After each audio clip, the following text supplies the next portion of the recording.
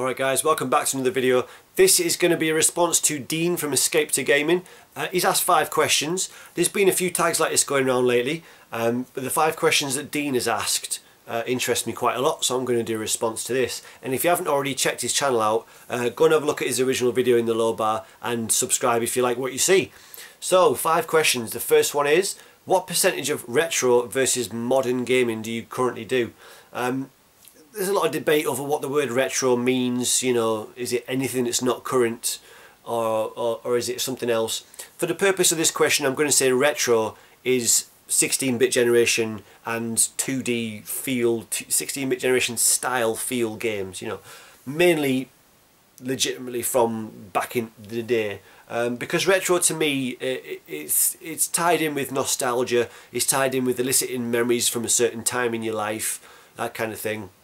Um, so yeah, retro to me is really 16-bit generation, and uh, you know games that are like that as well, modern games that have that feel, that sort of thing. So, um, with that in mind, I'd say the vast majority, probably 90% if not more, of my gaming is modern gaming. Uh, I don't have any current systems, but I'm talking stuff like you know the 360, the Wii, the original Xbox. Those are all modern gaming to me. They're distinctly different to what I would what I personally see as retro. Um, so yeah, it's it's mainly it's pretty much all uh, modern gaming. Uh, but I'm really enjoying it though. Like currently, I'm playing Super Mario Galaxy.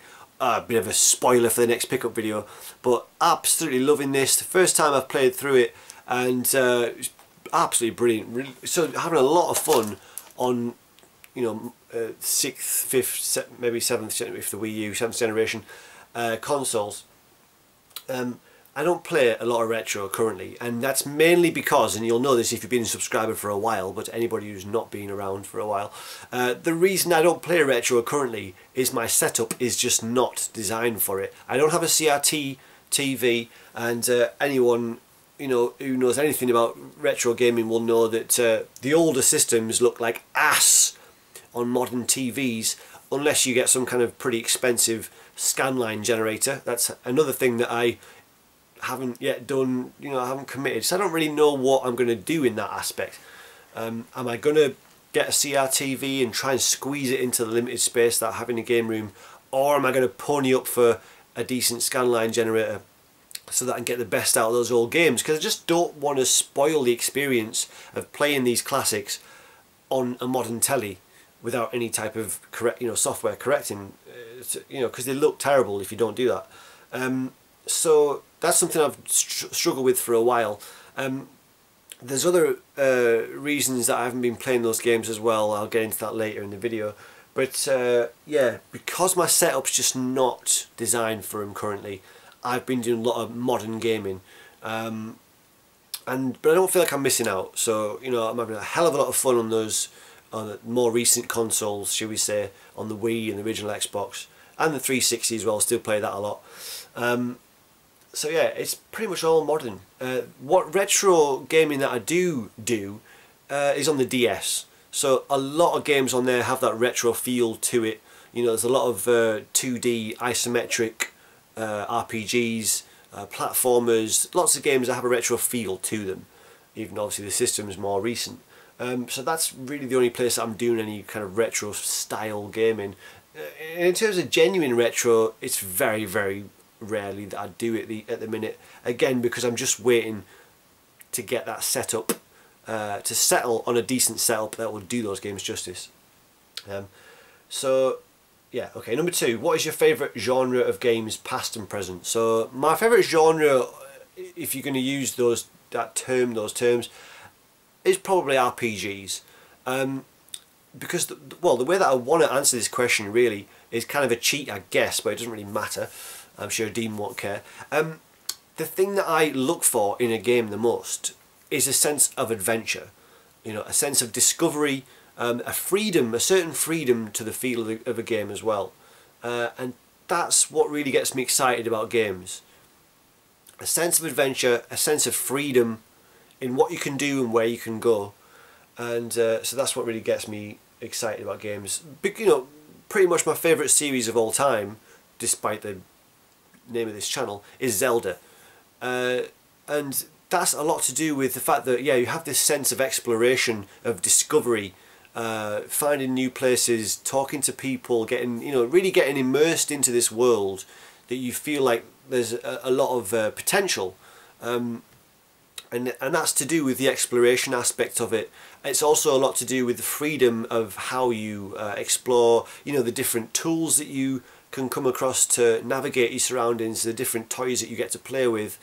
All give it a real good sense of freedom in how you play and where you can go and this this kind of thing. So that's the type of game that I really dig is games that have that sense of adventure and freedom um, which is I guess why RPGs is something that I really always liked because you get that a lot in those types of games. Um, back in the day, you know, I used to love platformers a lot. Um, they are less popular now. Um, they're, they're less common rather. Um, yeah, and that's and that's a shame. It's a shame that there's less platformers these days. Uh, some that I could mention that I've enjoyed recently again, Mario Super Mario Galaxy, immense, and uh, 3D World on the Wii U is brilliant and this, there's actually quite a few decent platformers on the Wii U. Um, and Alice Return to Madness is a brilliant uh, action platformer. Uh, I would put I would describe that as but yeah. But that's how I would uh, answer that question. Um, number three what are your biggest concerns or fears for gaming in the future? Um, well an obvious one would be this move towards digital gaming now I am conflicted about this so I know that it's a complex issue and there are pros and cons on both sides of this uh, debate so to speak but uh, and I'll try and navigate them but uh, I am conflicted on it. Um, digital gaming, if the future of gaming is completely digital you lose control over your own collection. You're effectively just renting your collection. Now we've been everybody's probably heard you know these arguments. If you haven't I'll just go through them very quickly with digital gaming you're relying on external factors for your game collection that you have spent money and time and invested emotion into. You're reliant to a certain extent on external factors.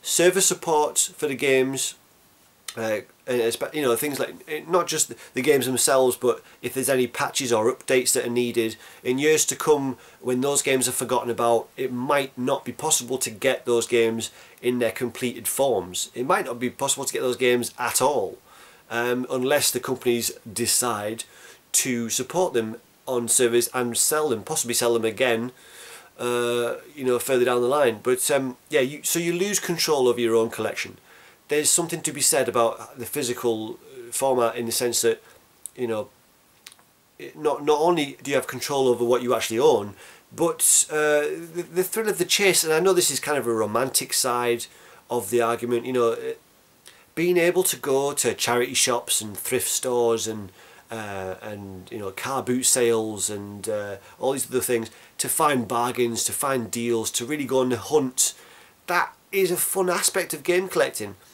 um, and that is lost with digital gaming. Uh, you know, the companies have full control over what they charge for these games. You can't go looking for deals. You can't go looking for bargains. Those games are those prices for as long as those companies decide they are. Maybe they'll have sales on here and there. Maybe eventually the, sale, the, the prices will go down. But, you know, and especially in the future, if it does go fully digital, they will have even less incentive to reduce the price of those games, you know, because uh, as it is currently, after a game's been out a certain amount of time, it will go down in price. Second-hand games will appear. People will be able to get those games a lot cheaper, which possibly will drive down the price of those games online as well. Now, currently, of course, digital games are released uh, usually around the same price as a physical release, you'd think that's really out of order because of course there's a lot less money goes into digital games than a physical copy. You obviously got the transportation, the production, all the people's wages associated with that process, those processes rather. Um, it's a lot cheaper to distribute distribute uh, digital games. So they really should be a lot cheaper. And yet, on the other side of that debate, I understand why those games aren't massively cheaper than the physical releases.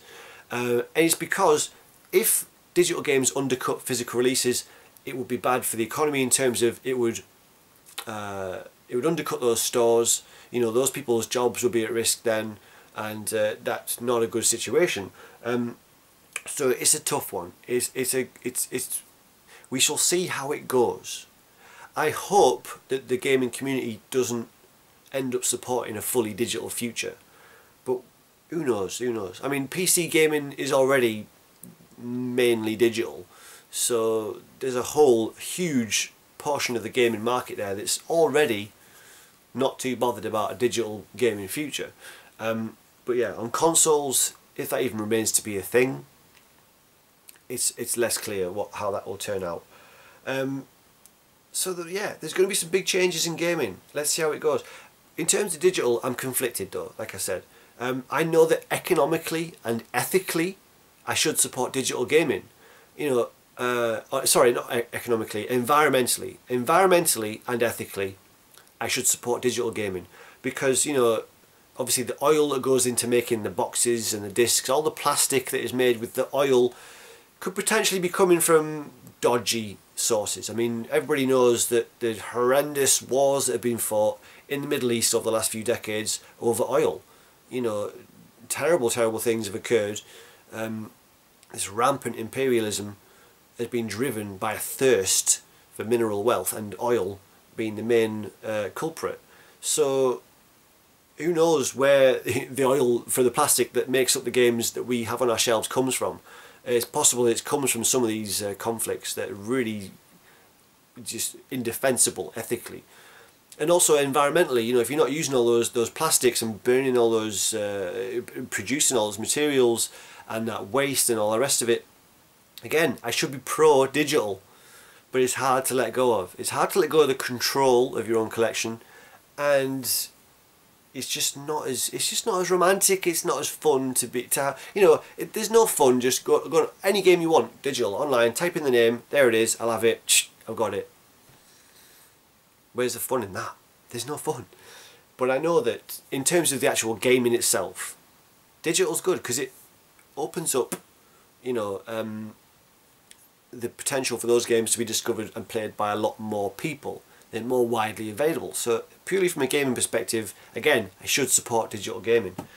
Um, but I, am finding it difficult to. I am finding it difficult. Uh, we shall see how that goes. Um, another concern that I guess that I have is a concern of the present as well as the future is this uh, tendency for more and more remakes and HD remasters. Now, the only argument that I kind of give any credence to in support of those things is that it gives new gamers a chance to experience these older games. You know, new generation or even just same generation that just never got around to those original releases can now play a better version. And so yeah, it makes these classics more widely available and in some cases it makes them better. Uh, but it doesn't always makes them make them better. It doesn't always. I mean, some of these HD releases are just fixing resolution issues. They're not really doing a lot to upgrade the game's actual graphics in terms of the textures. Um, I recently played uh, the Beyond Good and Evil HD version and to me actually the old version looks better because with the new version again it's just improved the resolution but that really shows up some of the age of the game you know the polygons look really simple and uh, some of the details just not acceptable by not acceptable by today's standards so they don't always make a game look better. I think the old version, personally speaking, the old version of Beyond Good and Evil looks better.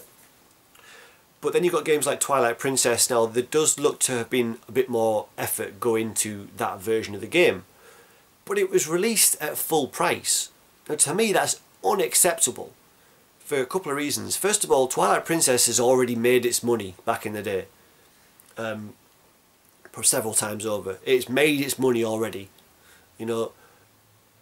And and that game, you know, whilst it's an amazing game, of course, it can be accessed by anyone already anyway.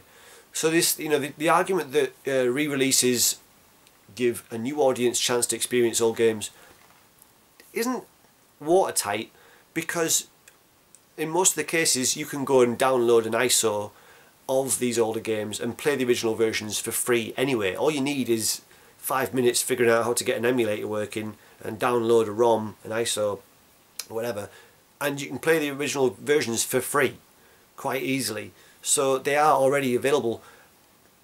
But you know, you get a chance to have a, a better looking game. They don't put a game development's worth of effort into making those games look a little bit better. And that's why to me it's indefensible that they're released full price. Twilight Princess being a full price game, it's, it's not on. I, I do want it because I would like to play that game again and I may as well play it with this upgraded version but I'm not going to be paying anywhere near retail price for it. If I never manage to find it cheap, so be it.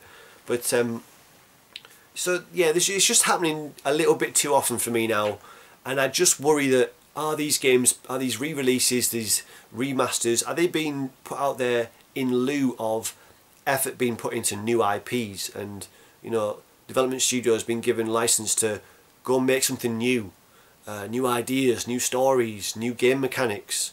You know we've got all this power of these new consoles and we're just seeing a hell of a lot of remasters of old games that are you know outdated not just by the graphics but by the game mechanics as well you know? So yeah HD remasters can't fix or, or can't modernize uh, all these games uh, in, in, in every sense. Um, this obviously some brilliant new IPs some brilliant new games coming out as well. I just worry that it's happening a little bit too often we're getting these uh, HD remasters. And you're getting remasters of, of games that aren't even that old. I mean, stuff that came out in the previous generation. We did see that a little bit in the last generation as well. There's some crossover titles that were on the original Xbox as well as the 360. But it's just happening a hell of a lot more often now. Uh, so that's a worry. I just I would like to see more new IPs, more new adventures, more more new invention rather, and more effort put into uh, to utilize all this processing power to make more uh, uh, evolved gaming experiences. Anyway, number four, what, where do you see your gaming collection in five years or more? Right, well, it's very possible that my Dreamcast collection will be gone by then. Uh, it's a small collection. It doesn't hold a massive amount of nostalgia for me apart from obviously Shenmue. Um, I never really collected for the system. I used to get burned discs. So it doesn't have a massive amount of nostalgia for me but there's some brilliant exclusives on there. And uh, that's what my small collection is based around. Um, but after I've played all those I can see myself getting rid of the Dreamcast collection apart from Shenmue which I will always obviously keep. Um, it's very replayable in my opinion. Um, I, I, I can also see myself getting rid of the N64 collection when I first started this channel several years ago I was collecting Mega Drive and N64 and I went for complete in box pretty decent nick uh, for the N64 and but that small collection it has been kind of uh, uh, uh made uh, redundant because I now have an EverDrive for the N64 with every single game ever released on one SD card. And that's just permanently in the N64 that I've got hooked up. So the collection that I've got is redundant. And the only reason I'm really holding on to it now is to have this I, wonder whether uh, that console will see a spike in, in, in value of the games. Uh, and I don't need to get rid of them right now. I'm not massively skint. So um, you know I haven't had to sell them. So I've kept them thinking it'd be better to sell them further down the line if they go up uh, in value and maybe I'll do that. Or maybe I won't. Maybe I'll hold on to them for a long long time and then end up uh, handing them down to my nephew if he becomes uh, a gamer.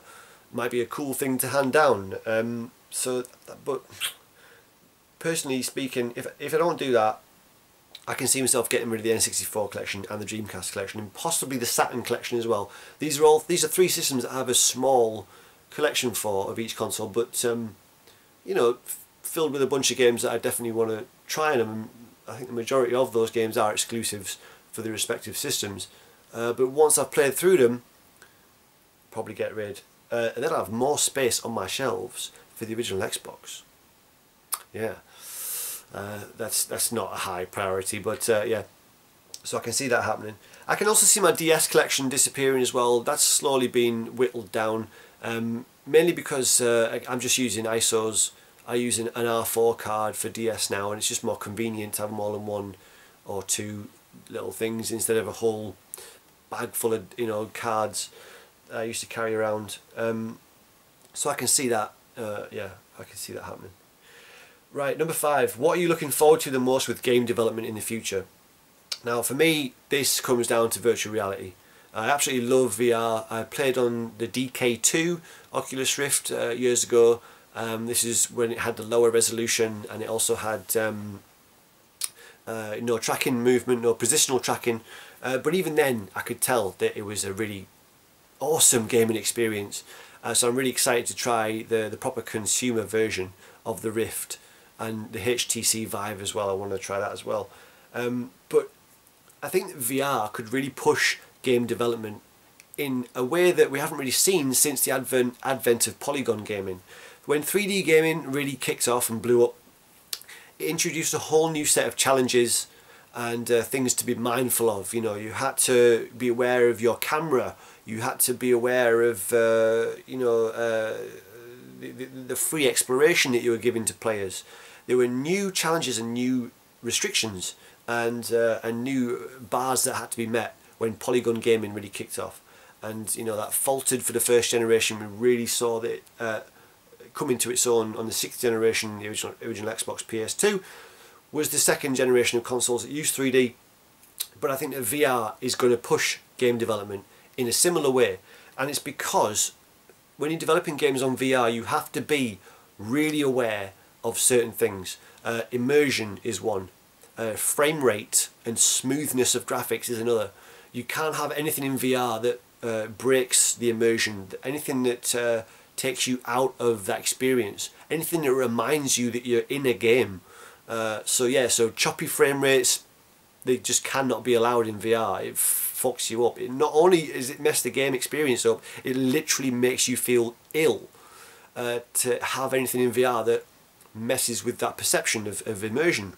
So yeah, it's not necessarily first person stuff, uh, but in terms of the graphics you need a high frame rate you need a smooth you know frame rate um, yeah and and things like that. In terms of uh, the gameplay uh, you really there's there's certain um, industry standards that I think will become apparent through VR and I think that this will be good for gaming in general because I think if VR takes off if it becomes popular enough you might see a lot of kind of dual releases. And what I mean by that is you'll have a game come out that you can play it on a screen uh, in a traditional sense or you can play it in VR. It'd be as easy as just putting VR mode on and playing the game on your headset instead of on the telly. I don't think there'll be too much problem with doing that um, because we've already seen in the indie market, in the indie scene rather, um, people modding traditional games to run on uh, VR headsets. So people have got Skyrim running on an Oculus Rift. Ah, oh, amazing. I mean, you know, it doesn't have stereoscopic as far as I'm aware, I'm pretty sure. You know, when they do that conversion, it doesn't have stereoscopic 3D, obviously, because you still only got one image, you're just duplicating it and putting it on and mapping the um, movement of the headset to, you know, the camera's movement or whatever. But it's, it seemed like it's been a pretty simple procedure to get traditional games running good enough on VR. So if they were literally doing that, you know, as part of the game's development, I don't think it would be too difficult to have that, to have those dual, that dual capability. And with that in mind, you're going to see a lot of games that, yeah, have have are, are very aware of uh, aspects to do with immersion in a game because when you're doing it programming for VR, you can't break that immersion uh, it makes you feel ill. Not only does it spoil the experience, it makes you feel ill. So there's certain aspects of VR that are going to push game development in a way that will be good for everyone. Um, this is the first generation, so at the minute, of course, uh, you know, not every game is being developed uh, in in ways that are going to fully realise those those challenges uh, and restrictions and stuff. But I think in general, VR could have the potential to really kickstart um, another uh, you know era of, uh, uh, of improvement in game development. Um, because you know for all the computing power, for all the processing power that we've got, are we seeing a huge increase in the depth of game experiences? Maybe we are. Again, I've not. I haven't even got you know the new consoles, so I'm not talking from a point of experience here at all. Um, really not. So anyone who's had those consoles, can you tell me, you know, on the new consoles, are you really seeing an extra depth to game experiences or is it just prettier versions of genres that we're familiar with? Is it just prettier first person shooters and RPGs? and races and fighters? You know, or, or are those games genuine? Do those games genuinely feel more immersive, more involved, more um, complex? Because I'm not seeing it really, not to a great extent. I don't know. I, I could be talking utter bullshit on that point, but I, I, yeah. But getting back to the point, I think VR will push game development in really positive ways, and that's what I see. I'm going to stop now because I don't want this video to go over half an hour, because then I'll have to do two videos. That'll be right ball ache. All right, in a bit.